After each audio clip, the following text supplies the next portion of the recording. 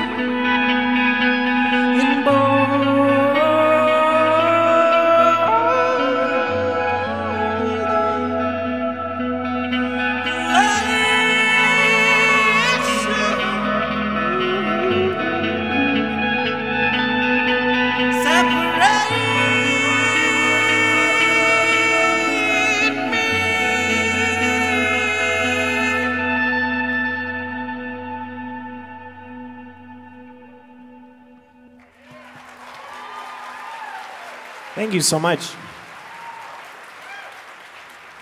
Yeah, we're Foxing. We're from here in St. Louis, Missouri. We want to thank you so much for being here. I mean, we want to thank you for this extreme honor. And I, I want everybody here to think of their hero when they were growing up, when you were a child. Who was your hero? Just think about it and keep it in your mind. Uh, for Eric, there was a, a local artist uh, named Ryan Wasoba who played in a band called So Many Dynamos. And he meant so much to Eric. And for me, it was a person that wasn't from here. He was from Detroit, Michigan. His name was J Dilla. He was a producer. Uh, he passed away in 2006, but he left behind this legacy of some of the greatest hip hop music and soul music of all time. And he inspired some of the greatest musicians of today. And um, uh, about five years ago, we decided to quit our jobs and to drop out of college and pursue. yeah, here we go. yeah, we don't need school, um, soul. And we decided to pursue this dream we had since we were children um, to enter the music industry. This place filled with evil and also beauty.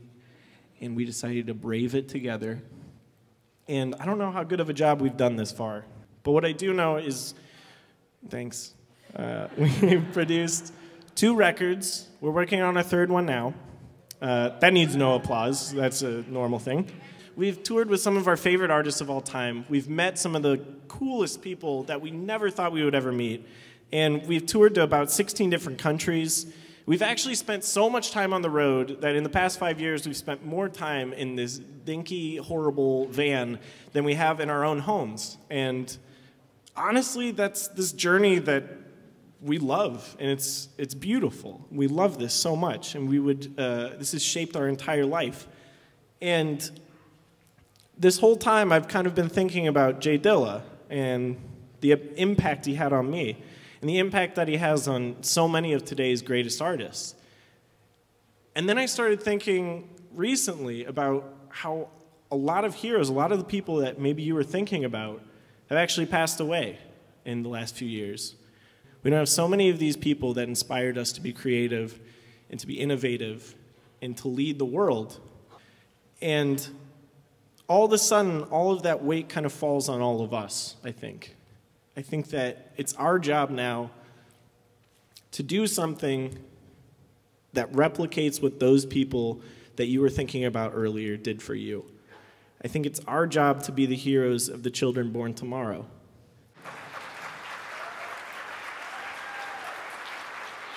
My challenge to you is to be a hero for a child born tomorrow, to inspire them to leave behind a world better than the one that we left behind. Again, we're called Foxing. We're from here in St. Louis, Missouri. I want to thank you so much for this honor. This is absolutely amazing. I hope you enjoy listening to the speakers who are so much smarter than us because they probably went to college and they probably uh, read a lot more books. Uh, we're going to perform another song that's from our upcoming album. Thank you so, so much, uh, Two Hill St. Louis and TEDx for having us here tonight. Thank you.